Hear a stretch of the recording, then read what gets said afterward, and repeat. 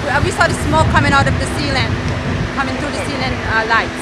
We ran out to look what was happening, and we saw then more smoke coming out from the pizza store. Shop owner Raina Mohammed describes her eyewitness account of the three alarm fire that scorched a commercial building.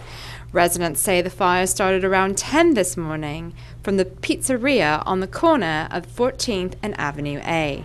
The fire engulfed the building and plumes of smoke rose over six stories. And the smoke overtook everything. You couldn't see anything. We had to run because it engulfed it, all the stores. Uh, well, I looked out the window, I saw all the smoke coming out from the roof. Fire, all the firemen came and uh, so all uh, caught fire really quick. Firefighters battled against the fire's plumes of smoke that rose several stories. Two firefighters suffered smoke inhalation and were taken to nearby Bellevue Hospital.